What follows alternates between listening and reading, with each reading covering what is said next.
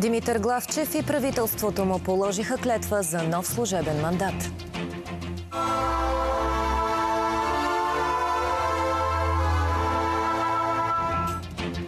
Изборите вече са насрочени. Гласуваме на 27 октомври.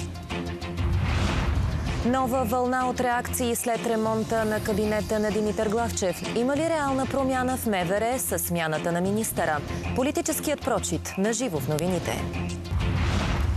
Тежък инцидент в Нов Български университет. Има затиснат човек след срутване на стена. А в Бургаско гонка с микробус с мигранти взе жертва.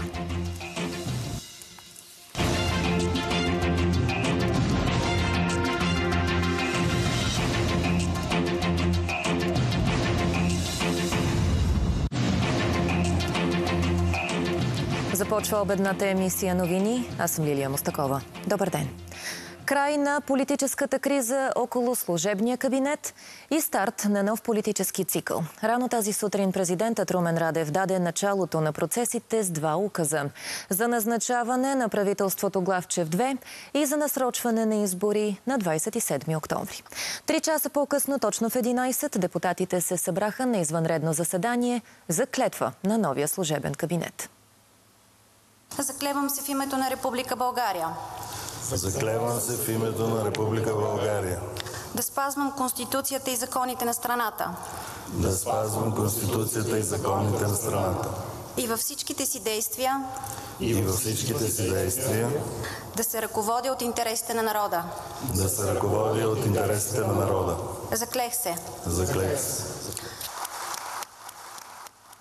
Всичко за новото 104-то правителство на България и ключовите министерски смени в МВР, външните работи и транспорта. Сега от репортерите на Нова, първо към Мия Димитрова. Мия, добър ден. Здравейте! Четири месеца след полагането на първата си клетва, правителството на Димитър Колавчев отново се закле пред Народното събрание да спазва Конституцията и законите на държавата.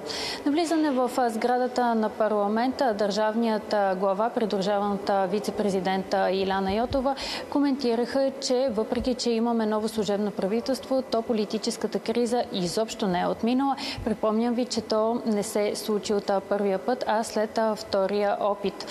Държавният глава тази сутрин, както казахте и вие, подписа двата указа, които се очакваха за предсрочни избори. Единият на 27 октомври, като по-късно пред медиите пък вице-премьерът и финансов министр Людмила Петкова обясни, че изборите ще ни струват 120 милиона лева. В този кабинет, припомня ви, Димитър Главчев избра да има три смени в външните работи, в вътрешното министерство и в Министерството на транспорта. Точно в 11 часа кабинетът Главчев 2 положи клетва пред Народното събрание. По този начин официално пое властта в държавата за следващите месеци, поне до изборите. Заклех се. Заклех се.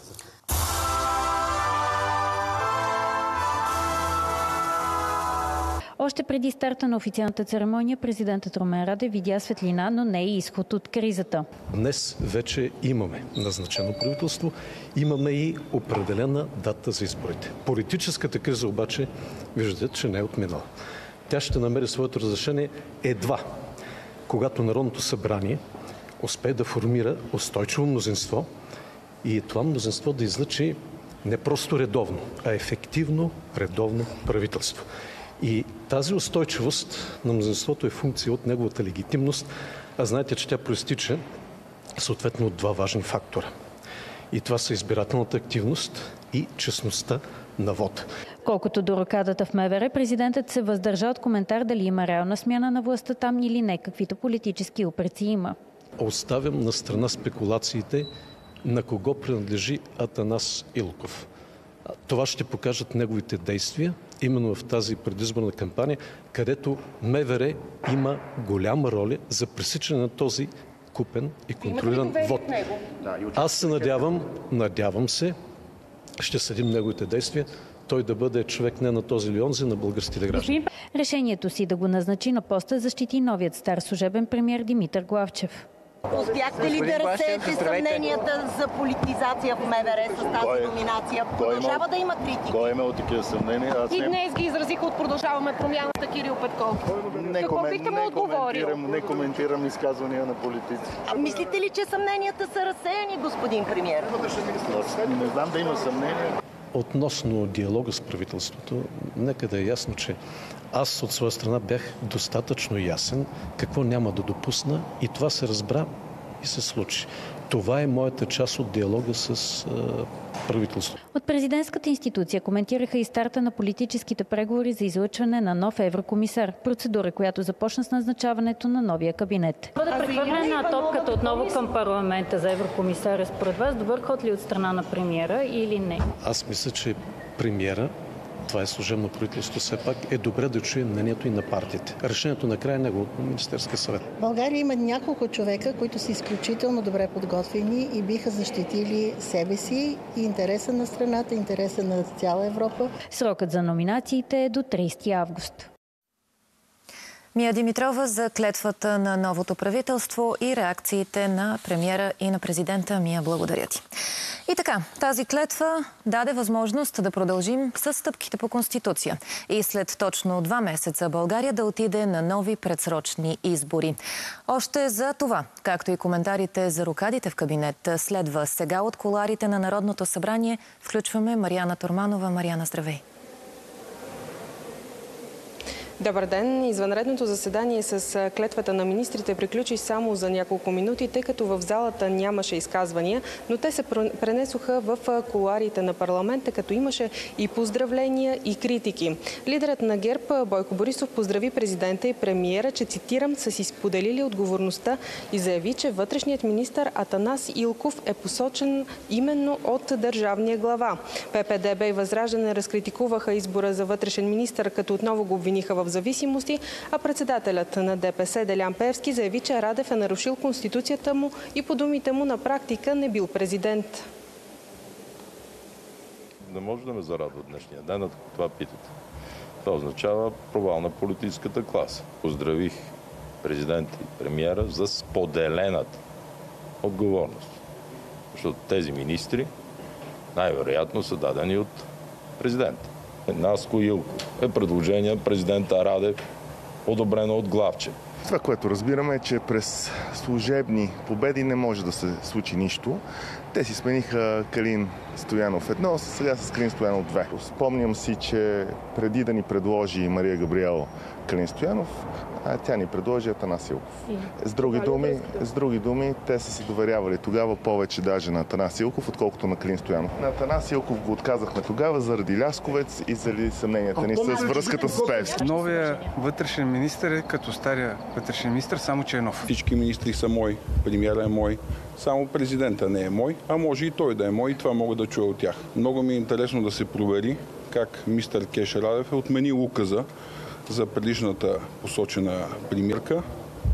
В този момент, който той наруши Конституцията, той на практика не е президент. Това може да си го проверите. Той е нарушил Конституцията. Аз се изненадвам, че никой не реагира от колегите. Той вече е с пълно нарушение на Конституцията и ако това бъде установено, той автоматично няма да бъде президент. Надяваме се да направят всичко възможно да имаме честни и почтени избори. Нещо, което е най-важното за един служебен кабинет и това ще зависи най-много от министърът на вътрешните работи. Тези министри, дали ще са на вътрешни работи, дали ще са на някакви други спорни министерства с спорни кандидатури с съмнение за задколисие и прочее, всъщност са повода. Причината беше брутално отвратителните промени, които бяха наложени по време на сглобката. Ако очаквате нещо, което да изразиме задоволство или пък отрицание, няма да чуете, защото нека да видим а, какви ще са им делата, какво ще правят по време на изборите. Сега политическите формации очакват консултации с премиера Димитър Главчев, за да обсъдят кандидатите за еврокомисар. Вече има няколко номинации, съобщиха от самите партии. От ГЕРБ заявиха, че ще предложат Екатерина Захариева, бивш външен министр в кабинет на Бойко Борисов. От има такъв народ ще предложат Велислава Петрова, експерт с опит в ООН, бивш заместник министър на външните работи също. Сред вариантите на БСП заявиха, че и Сергей Станишев, но те те първа ще вземат решение. Информация на Марияна Торманова. Марияна, благодаря ти. И от парламента към предаването на властта по министерства. Все още всички погледи са съсредоточени към МВР и очакваме да разберем с какви думи Калин Стоянов се разделя с поста си след месеци на упреци и искания за неговата оставка. Нели Тодорова е там и ще ни каже още. Нели, добър ден. Здравейте! Точните думи. Тръгвам си с гордо вдигната глава. Не допуснах, цитирам, да има ала-бала на изборите и заради това сега си плащам цената. Това обяви Калин Стоянов в последното си изявление тук от трибуните в Вътрешното министерство. Отчете, че е свършена доста работа, намаляване на мигрантите, намаляване на броя на жертвите по пътищата от своя страна, наследникът му Атанас Илков заяви, че а, в следващите седмици ще се оборят тенденциите, които са се появили напоследък в обществото. Не цитира дословно критиките за политическа намеса в МВР, но вероятно това стои зад тези думи. След малко ще имаме възможност да поставим и конкретни въпроси към него. И иначе, като основна задача си постави борбата с купения вод на предстоящите избори и поиска системата да бъде оставена да работи спокойно. Най-хубавото е, че маската падна. Всички видяхме безпредседентната намеса в дейността на изпълнителната власт, конкретно с това кой може и кой не да бъдем служебен министр в бъдещо служебно правителство. Каквото и да се случи, всяко начало има и край. Тук е мястото да благодаря на всички колеги за това, че ме подкрепяха до последно, да им благодаря за положителните резултати, които постигнахме. Давам си сметка в каква сложна ситуация поема Министерството на вътрешните работи. Като казвам сложна, имам предвид обществено-политическия завод последните седмици и фокуса на цялото общество в Министерството на вътрешните работи. Няколко са задачите, които стоят пред нас, а именно гарантиране на добър обществен ред преди, по време и след изборите.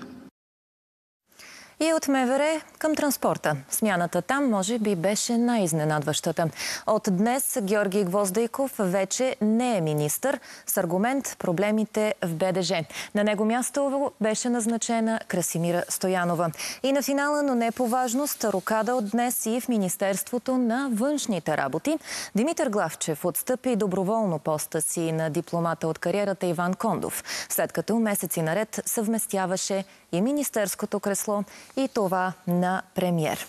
Политолози не изключват още по-ниска избирателна активност обаче на предстоящите предсрочни избори в края на октомври.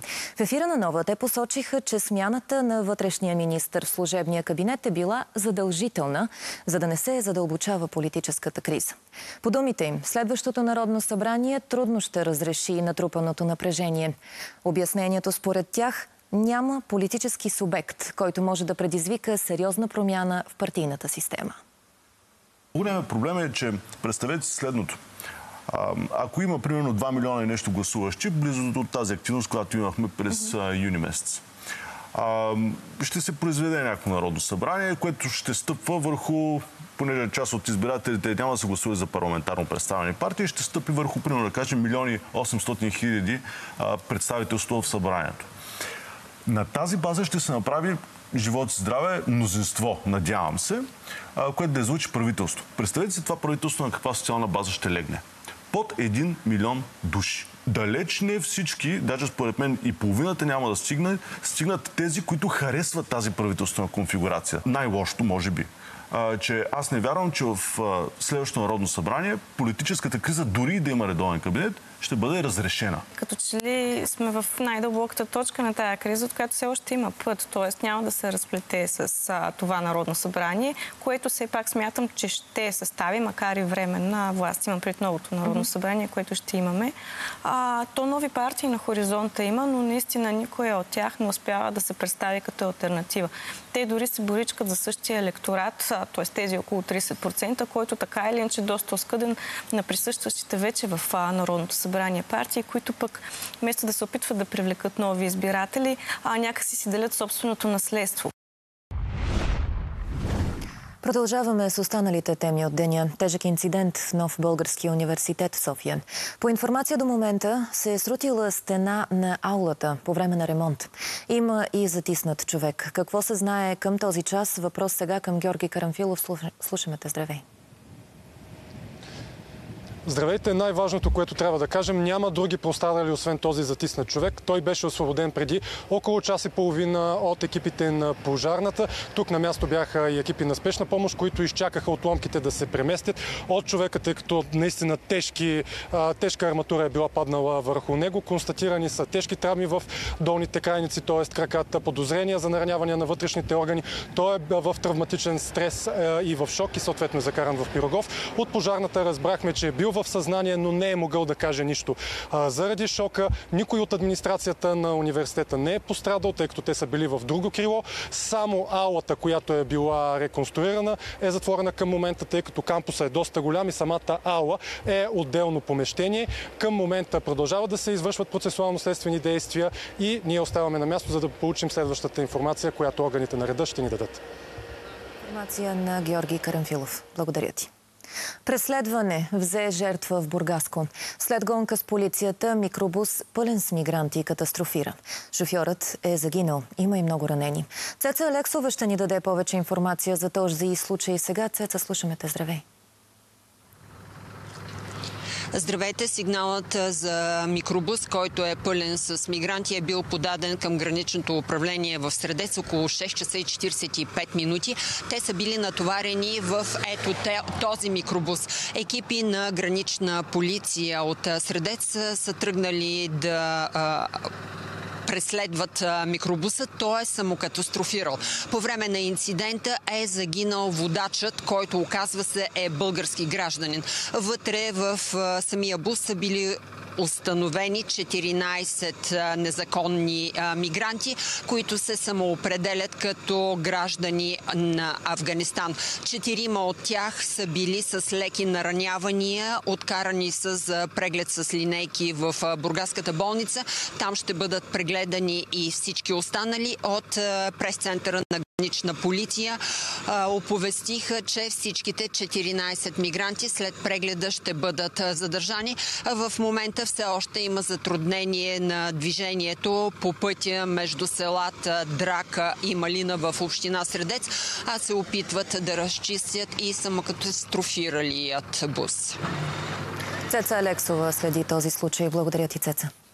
Мълния е предизвикала пожара в Рила планина. Пети ден продължава битката с огъня, който продължава да се разраства.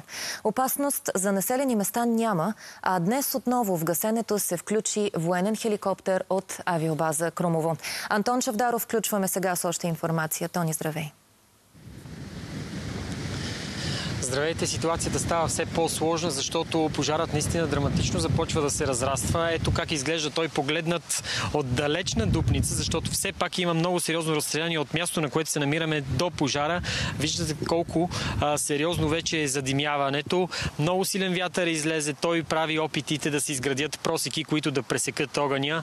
А, почти напълно безполезни. Каквото и да се опитат да направят горски служители, служители на Национален парк Рила, огнеборци, високо в планината, до този момент не дава резултат. Хеликоптерът тази сутрин направи облитания, сега а, прекъсна за малко, вероятно за да зареди, но и неговата дейност до момента не е достатъчна, за да се овладее огънят. Официално знаем за 40 декара засегнати от пожара, но вероятно до края на деня, предвид силния вятър тук, те ще станат повече.